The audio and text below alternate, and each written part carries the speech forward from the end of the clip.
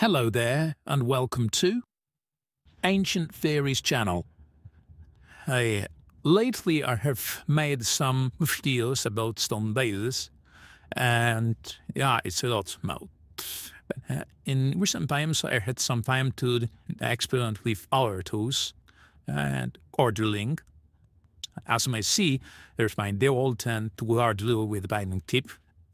And the reason is that I used also copper pipe and abrasive powder, corundum powder, to compare the effects. And the power tools, the, the speed is, is better, of course, but the effect is quite the same. Uh, you can also see this here. I made this cord wheel. Uh, I drilled this with my power tool for one hour, and this is the effect. Uh, you can also see the surface of this drill is, is rough, and the same roughness with corundum uh, powder and copper tube. About the lasers. To create a vase, a precise vase, in stone and granite, one needs a certain way of drilling. And I also bought a 3D scanner to show you that my drill with copper tube and abrasive powder is pretty precise, but to be honest, the scanner gets only 100 microns of precision because I don't have lying around 10 grams CSD. And I bought this, and it's not the best scanner, but I will show you the effect. And you can compare this with a perfect circle and see that those two drills uh, and uh, this rotary movement by my hands, it was done by my hands, was pretty, pretty good. Okay, it's, it's still only precise in hundreds of microns, but uh, the thing is, it's the same thing you can say about uh, today's modern uh, tools with diamond tips and tubular wheels. We are not talking about CNC, of course, which can uh, get to places like 5 or 4 microns of precision. So why to even bother with corundum when the speed is not affected? I can use corundum powder or quartz powder and the speed of drilling is the same and their uh, effect is in tubular drilling the same with copper tubes or diamond tubular grills and other tools. You see, maybe is that the rough state of the race was the first step in the precise days making. My idea is that the second step was something else. The idea, my idea is it might be something that are like tumbling rock. You can use corundum to, and olive oil to tumble a rock. And I tried to do this. I tried to tumble this rock. And by tumbling, you can also use the vibration, but I am using tumbling or creating vibration and movements of little particles in those mixture of corundum grains and those stones because that's the way you can do this also without any modern tools. You can use wind and water, stream, whatever. I don't have a river because uh, I don't know if anybody nowadays had a river, but you can generate a stream of water and use the stream of water to create a movement, vibration, tumbling vibration, like in the sea when you hear the movement of the sea and the glass in the sea is polished by the water and the sand. And my sand is corundum powder, which means it can polish even harder stuff than glass.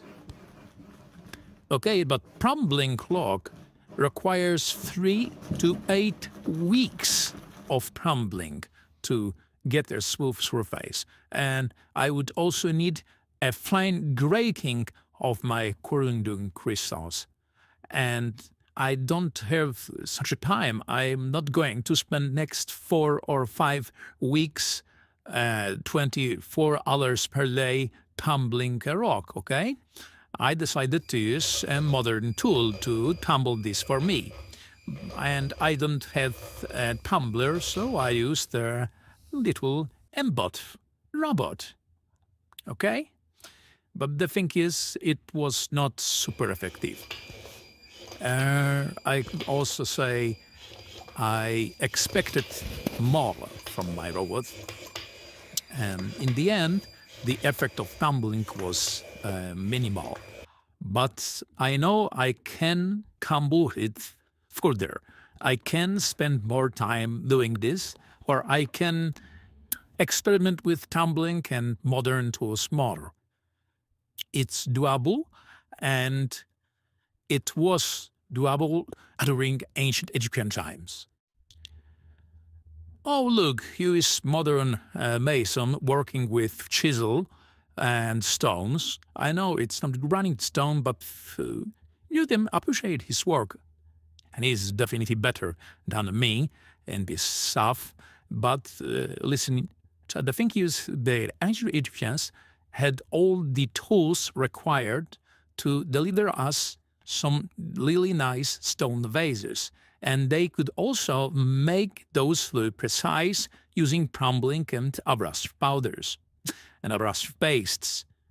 But that's not it. That's not the thing you're looking here.